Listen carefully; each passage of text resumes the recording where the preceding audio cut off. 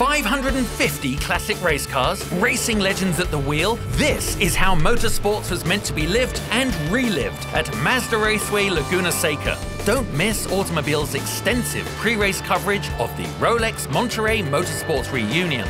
Before the track goes hot, get primed for all the action with stories and photos, email alerts, the weekend's racing schedule, and more.